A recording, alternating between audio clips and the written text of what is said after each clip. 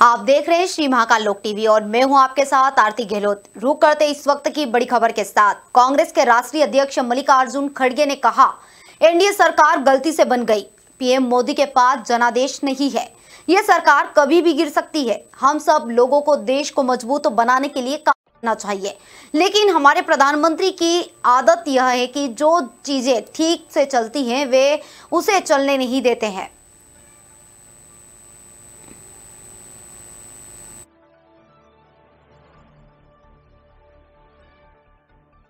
क्या है, हम तो देखो एनडीए गवर्नमेंट गलती से बनी हुई है। मोदी जी को एक तो मैंडेट नहीं है और माइनॉरिटी गवर्नमेंट है।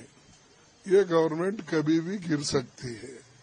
अब देखेंगे, हम ये नहीं बोलेंगे कि अच्छा हम तो ये कहेंगे अच्छा चलने दो, देश के लिए अच्छा होने दो।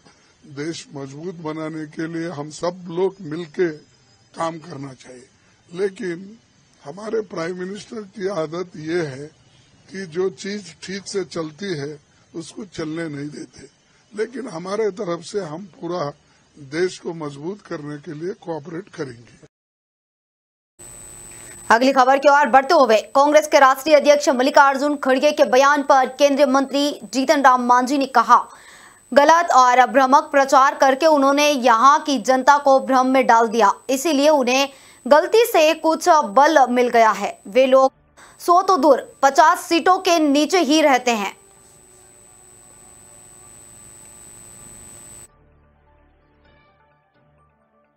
हम तो यही कहेंगे कि बाई मिस्टेक उन लोगों को कुछ बल मिल गया है। गलत सलत प्रचार करके, भ्रामक प्रचार करके। झूठी बात कह करके। यहाँ की जनता थोड़ा भ्रम में आ गई, इसलिए। और नहीं तो वो सौ के नीचे का कि पचास के नीचे वो लोग रहते तो वो लोग आ गए हैं बाई चांस आगे देखेंगे कि उनका कोई स्थान नहीं रहेगा। कांग्रेस के राष्ट्रीय अध्यक्ष मल्लिकार्जुन खड़गे के बयान पर हरियाणा के मुख्यमंत्री नायब सिंह सैनी ने कहा जिन लोगों की सीटों का आंकड़ा मात्र सौ भी पार नहीं कर पाया, तीन आंकड़ों में भी उनकी सीट नहीं आई। वे लोग इस तरह की बातें कर रहे हैं। पीएम मोदी और एनडीए ने 303 सीटें लेकर तीसरी बार मज़बूत सरकार बनाई है। कांग्रेस बोखला चुकी है। कांग्रेस के पास कहने के लिए कुछ नहीं है।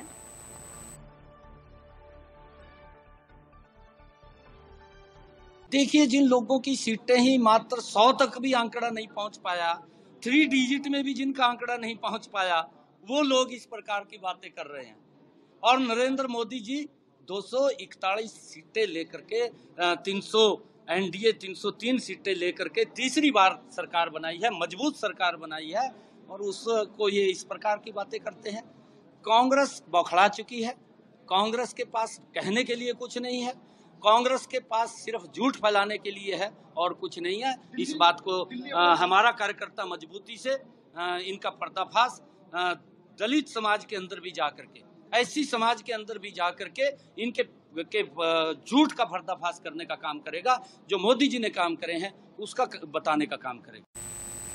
केंद्रीय पर्यटन मंत्री गजेंद्र सिंह शेखावत ने कहा ऐसा कोई भी अवसर जिस पर देश गर्व कर सके अपने लाभ के लिए उसमें राजनीति करना कांग्रेस पार्टी में, एनडीए में समाहित हो चुका है। हर एक ऐसी घटना जब देश गौरव की अनुभूति कर रहा होता है तो कांग्रेस राजनीतिक महत्वाकांक्षाओं की पूर्ति के लिए हमेशा ही अनगर्ल बयानबाजी देते हुए विषय को नई दिशा देने की कोशिश करती है।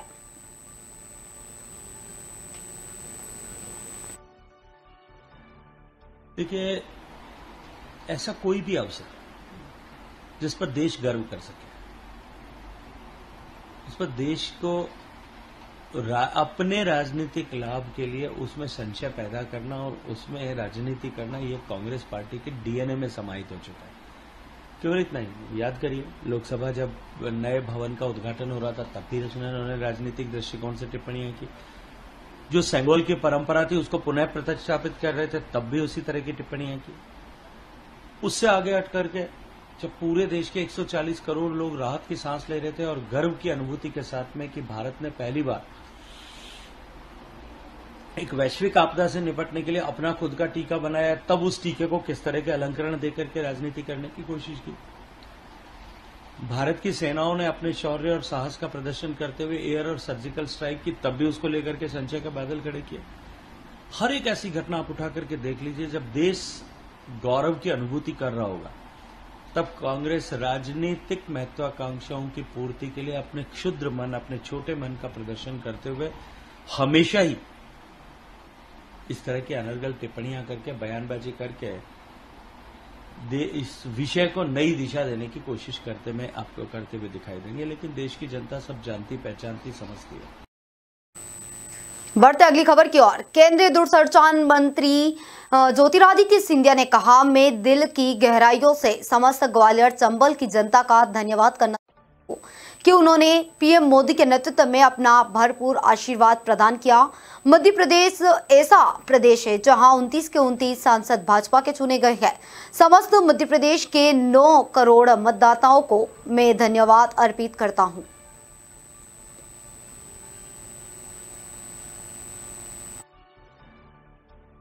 ग्वालियर चंबल ने चारों के चारों झंडे बुलंदगी से मध्य प्रदेश के नींव में गाड़ के रखे हैं। चाहे मुरैना हो, शिव मंगल जी के साथ, चाहे भिंड हो, संध्या जी के साथ, चाहे ग्वालियर हो, भारत सिंह जी के साथ, और चाहे गुना हो।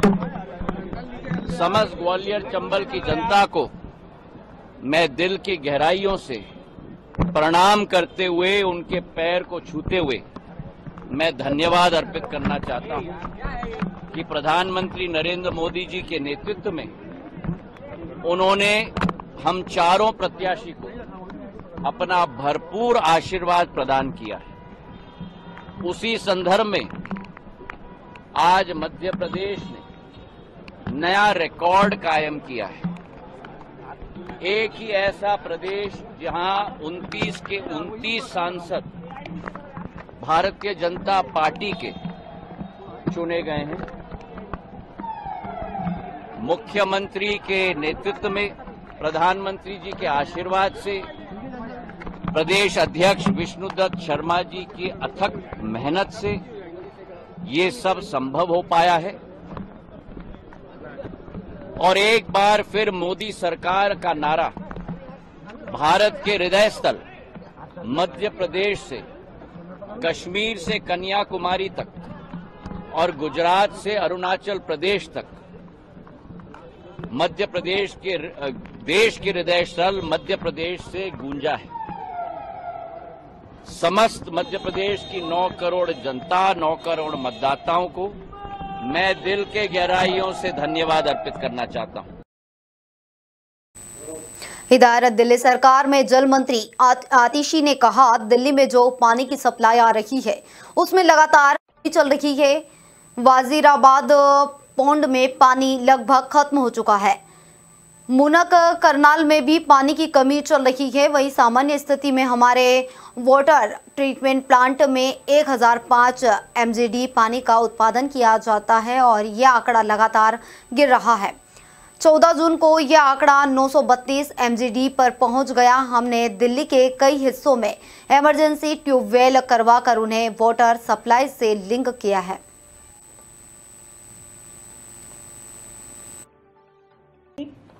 दिल्ली में जो पानी की सप्लाई आ रही है, लगातार उसमें कमी चल रही है। वज़ीराबाद पौंड पर, जहाँ पर 674.5 फीट पर पानी होना चाहिए। 668.5 फीट पर पानी है। यानी लगभग वज़ीराबाद पौंड में पानी ख़त्म हो गया है, बिल्कुल भी पानी नहीं आ रहा है। दूसरी तरफ़ मुनक कनाल में, जहाँ पे दो सब कनाल्स के माध्यम से दिल्ली को पानी आता है, जो सीएलसी और डीएसबी है, उसमें भी पानी की कमी चल रही है। जो 10 जून को पानी बढ़कर 925 क्यूसेक पर डे हो गया था वो फिर से 11 जून को घटकर 919, 12 जून को 903, 13 जून को 906 और 15 जून को 902 क्यूसेक पर अभी है। दोनों सोर्सेज से पानी की कॉन्टिन्यूड कमी की वजह से दिल्ली में जैसा मैंने आपको कल भी बताया था कि हमारे वाटर ट्रीटमेंट प्लांट्स में भी पानी का कम प्रोडक्शन हो रहा है। हमारे वाटर ट्रीटमेंट प्लांट्स में एक नॉर्मल परिस्थिति में एक हज़ार 1005 एमजीडी का पानी हम दिल्ली में प्रोड्यूस करते हैं। ये आंकड़ा पिछले एक हफ़्ते से लगातार गिर रहा है। ये आंकड़ा 6 जून को 1002 एमजीडी पर था। ये 10 जून तक गिरकर 958 एमजीडी तक पहुँच गया। 13 जून को ये 939 एमजीडी पे था और कल यानी 14 जून को ये 932 एमजीडी पर पहुँच गया। यानी इस समय दिल्ली में 70 एमजीडी पानी कम प्रोड्यूस हो रहा है। 1005 एमजीडी के बजाय 932 एमजीडी पानी कल प्रोड्यूस हुआ है। इधर उत्तराखंड के रुद्रप्रयाग में बद्रीनाथ हाईवे के पास एक टेंपो ट्रेवल गहरी खाई में गिर गया। हादसे को लेकर आईजी गढ़वाल कर्नल सिंह ने कहा, रुद्रप्रयाग पुलिस अधीक्षक मौके पर है। टेंपो ट्रेवल नोएडा से रुद्रप्रयाग की ओर आ रही थी। यह 150 से 200 मीटर गहरी खाई में गिर गई है और सात शव बरामद किए गए हैं। वहीं नौ लोगों को अस्पताल ले जाया गया, जिसमें से एक की मौत हो गई। फ़िलहाल पुलिस, एसडीआरएफ और स्थानीय लोग बचाव कार्य में लगे हुए हैं।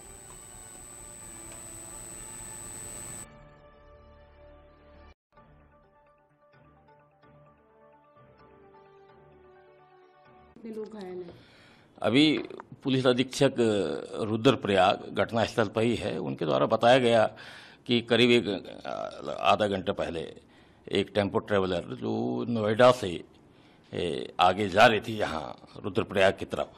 तो रैतौली जगह है रुद्रप्रयाग से पहले। वहाँ पर लगभग डेढ़ से 200 मीटर गहरी खाई है। वहाँ पर गिर गया है, जिसमें से सात लोगों की डेड बॉडी तो रिकवर कर लिया है। नौ लोगों को हॉस्पिटल पहुँचाया गया है। जिसमें से एक की डेथ होना ज्ञात हुआ है। ड्राइवर भी बहुत गंभीर रूप से घायल है। इसलिए स्पष्ट नहीं हो पा रहा है अभी कि टोटल कितने लोग इसमें सवार थे। लिहाजा पुलिस, हमारे एसडीआरएफ और स्थानीय लोग लगे हुए हैं वहाँ रेस्क्यू के लिए। और टोटल कितने संख्या है, अब ये कुछ देर बाद ही स्पष्ट हो पाएगा जब पूरी रेस्क्यू रेस्क्यू काम पूरा हो जाए।